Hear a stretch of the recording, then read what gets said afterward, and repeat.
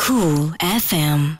Wow, wow, wow. So guys, inilah dia hasil pisang bakar kita. Hai guys, selamat menonton Cool TV. Ha, hari ini dalam Cool Ketak kita nak cuba resipi yang terbaru. Resipi apa? Sekejap lagi Noah share. Sebab nak beritahu kepada korang semua jangan lupa untuk like, share, subscribe video-video kami tentunya di YouTube Cool TV. Hari ni kita nak buat pisang bakar. Ha, pisang bakar ke pisang grill ke pisang apa benda lah. Ha, tapi menggunakan streka ajaib kita orang ni. Ha, itulah dia. Nama pun cool ketak kan. Mestilah menggunakan benda-benda yang cool. Alright. Benda pertama kalau nak buat pisang bakar ni kenalah ada pisang. Ha, pisang yang macam ni dia manis sikit. Kalau korang guna pisang tanduk yang besar-besar tu rasanya kurang manis sedikit. Kena ada gula, kena ada butter dan juga aluminium foil. Dan yang paling penting, ha, pembak- bahan pembakar kita ni iaitu streka kita. Cara-cara pertama nak buat ni sangat senang sekali, okey? First, ambil pisang korang tu, buang kulit dia dululah. Okey, and then pisang tu kita belah dua.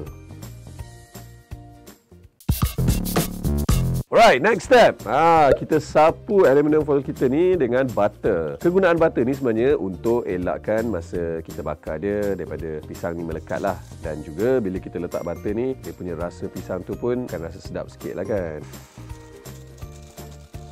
Rendahkan pisang kita.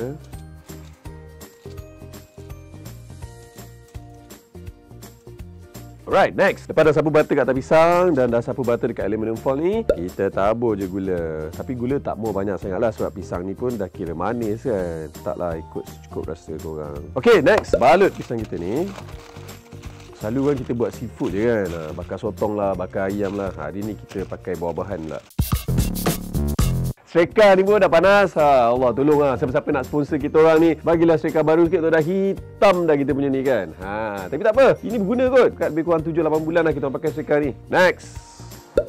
Tekap je iron dekat atas pisang goreng kita. Oh, bau dia padu, babe. Ada hari tu orang komen kat YouTube nak suruh kita buat rendang pakai ni, babe. Alah, come on lah. Rendang kita boleh buat kot. Pisang ni kita tak payah lama-lama sangat lah. Dan tak payahlah korang nak tekan kuat-kuat sangat. Ha, nanti dia jadi penyek. Okey, lebih kurang dalam 2-3 minit tu, kita terbalikkan pisang kita ni. Dia tak payah lama-lama sangat. Huh! Bau pisang tu dengan dia punya bau butter dia dengan gula dia hui. Okey, agak-agak dah dalam 2-3 minit. Hasilnya dah masak kot. Kita punya pisang ni dia tak payah lama-lama sangat. Okey, jom kita tengok apa hasil pisang kita ni. Wow, wow, wow. So guys, inilah dia hasil pisang bakar kita. Mari kita cuba rasa tu.